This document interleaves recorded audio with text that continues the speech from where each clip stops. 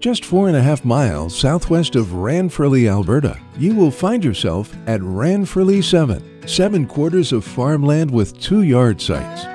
With 960 acres currently under cultivation, this number could be increased.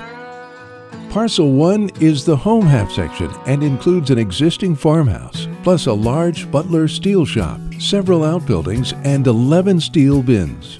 The mature yard site offers significant appeal for those looking to build a new residence. The residence yard, as well as the work yard, are both expansive. Parcel 2 is a complete half section with four titles. The old yard site on Parcel 2 includes a Behlen Quonset, as well as 11 steel bins in the main yard and one steel bin on the south quarter.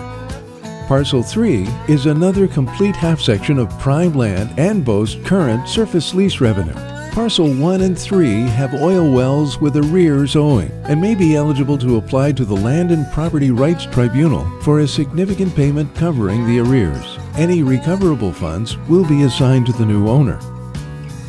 Parcel 4 is that dream wide open quarter with excellent drainage, a quarter that will pay for itself in short order.